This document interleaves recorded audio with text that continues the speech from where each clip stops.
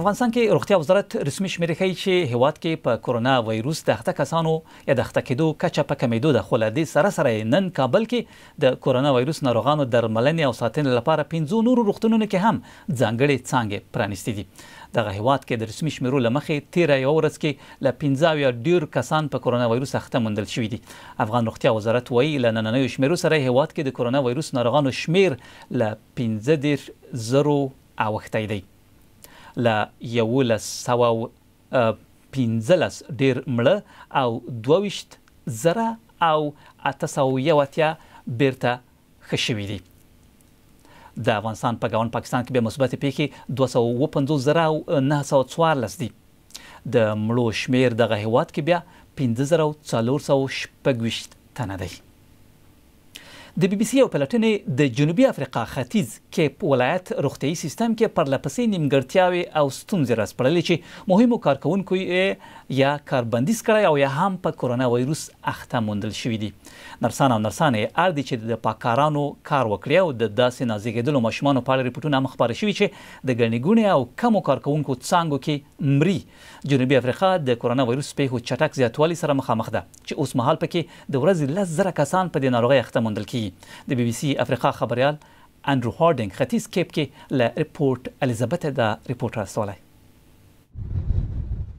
د پورټ الیزبت سیمې په څنډه کې یوه ګډه وډه هدیره او د قبرونو کتارونه د دې ښکارندویي کوي چې په سویلي افریقا کې هم کوید نونس بڼې ناروغۍ کچه لوړه شوې ده.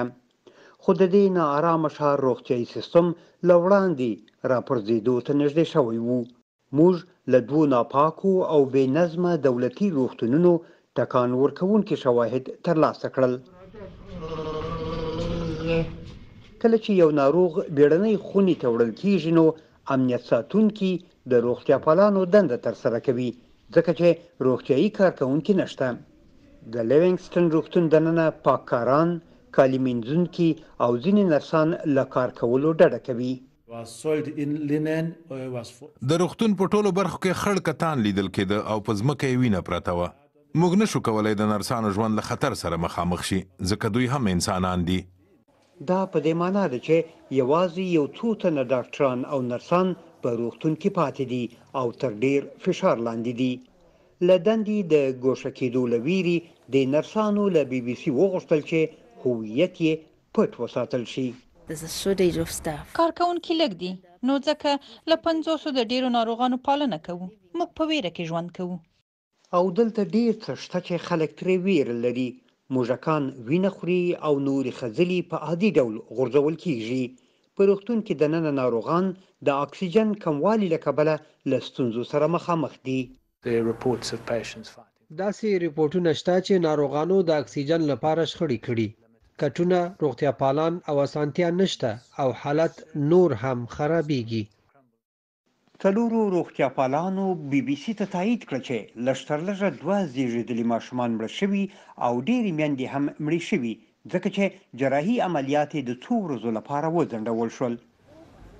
دلیل یې روښانه دی چې دغه ډول وحشتناکې کیسې ولې له دې سیمې اورېدل کېږي، د سویلي افریقا ختیځ کیپ نومي سیمه په سم ډول نه ده اداره شوې.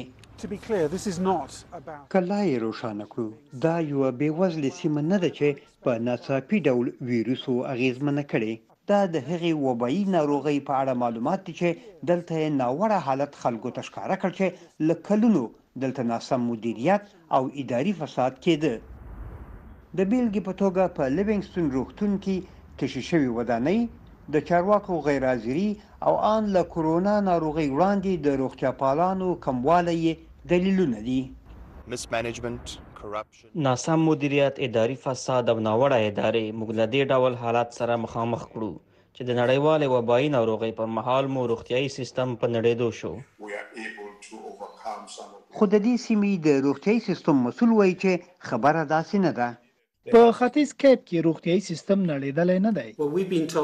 هغو کسانو چې په لومړۍ کرښه کې دي راته بل څه وویل او ویې ویل چې له ډېرې مودې حالت په همدې ډول وو او کلونه پرې تېر شوي دي چې دې حالت ته رارسېدلي دي.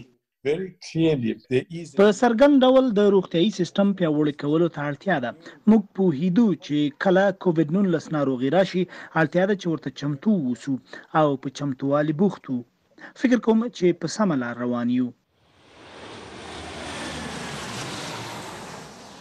په سمه لار، خو د پوځي ډاکټرانو د ډلې راتګ بل ډول وړاندیز کوي.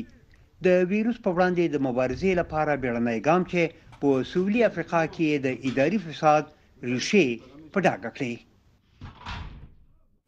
نو د جنوبي افریقا کې د روغتیايي سیستم کې د ستونزو په اړه رپوټ و، ورځوبیرته خپلې سیمې ته پاکستان کې سلګونه خلکو پر کاراکورم لویې لارې پر لت کړی و او غوښتنه یې دا وه چې د پاکستان تر ادارې لاندې ګلګت بلتستان دې بیا د سیلانیانو پر وړاندې پرانیستل شي. دا ښکلې سیمه له مارچ راهیسې د کرونا ویروس ناروغۍ له امله د رخصتیو تېروونکو او سیلانیانو پر وړاندې تړل شوې ده، خو په دې اړه پرېکړه د ځايي حکومت لپاره اسانه نه ده، داسې حال کې چې کرونا ویروس پېښې پر له پسې هلته په زیاتېدو دي. د چین، هند او افغانستان له سرحدونو سره هلته چې د ورېښمو پخوانۍ لار تېره شوې، د پاکستان ادارې لاندې ګلګت بلتستان سیمه ده.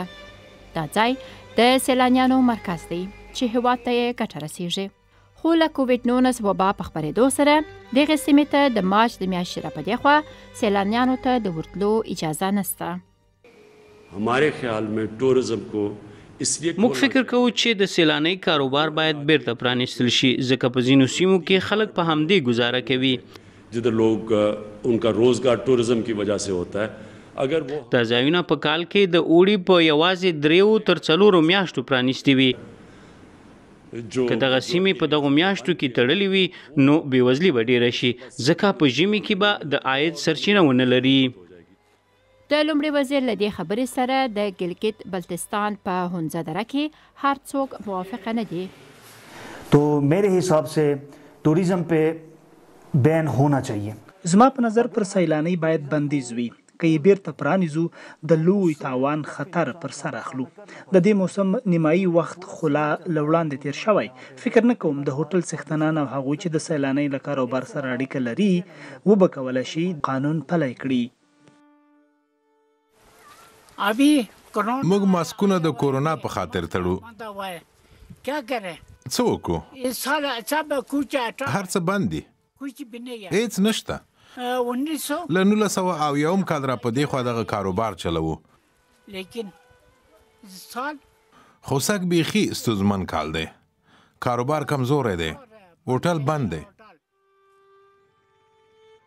په تیرو پنځو کلونو کې کورنۍ سیاحت پنځه برابره پراخ شوی د بهرنیو سیلانیانو شمیر ورو ورو زیاتیږي خلک د حکومت نوې تګلارو ته ډیر هیله مند دي هر څوک پانګونه کوي په لوی او وړه کچه د هوټلونو لپاره پور هم شته ځنو خلکو رستورانتونه جوړ کړل ځنو کیبنونه نور هوټلونه پیل کړل او لږ نور بیا پر ترانسپورت پانګونه کړې خو دا بدمرغي ده چې کرونا په پسرلي کې پیل شوه د ټولبندیز په خاطر هیچا یو روپې هم ونه ګټله او اغیز یې هم ښکاره دی ګرانه ده چې سیلانیان نشته او موږ ته تاوان اوړي خو تر دې به لس برابره هغه مهال لا زیاته ستونزمنه وای چې هم موږ ناروغه وای او هم سیلانیان نه وای اوس لنډمهالی ځایي حکومت تر فشار لاندې دی چې د سیلانۍ د بیا پرانیستلو پریکړه وکړي په اوړي کې د اوج موسم ژر تیریږي او د سیلانۍ کاروبار ته تاوانونه رسیږي